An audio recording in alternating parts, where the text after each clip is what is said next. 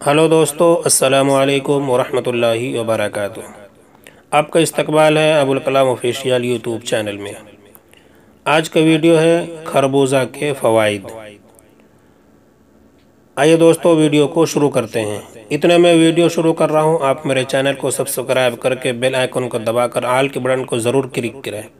तो आइए दोस्तों, आपने मेरे चैनल को सब्सक्राइब कर दिया होगा, आइए वीडियो को शुरू करते हैं। रसोल्ला अलैहि वसल्लम ने फरमाया, खाने से पहले खरबूजा का इस्तेमाल पेट को बिल्कुल साफ़ कर देता है और बीमारी को जड़ से ख़त्म कर देता है। इब्न आसाकर, जिल्द नंबर छः, सफ़ा नंबर 102 दोस्तों, खाना खाने से पहले खरबूजा का इस्तेमाल पेट को बिल्कुल साफ़ कर देता है।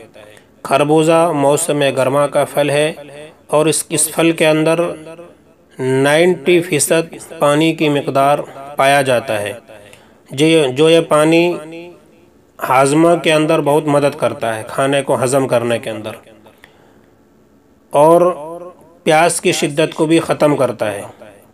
अतिबा कहते हैं, खरबूजा के इस्तेमाल से इंसान की कुदरती चेहरे की रंगत को भी निखार लाता है।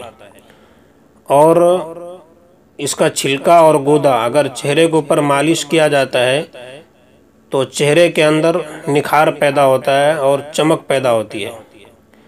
और इसके इस्तेमाल से तकरीबन 90 फ़ीसद हर बीमारी को ख़त्म करने का खरबूजा ताकत रखता है।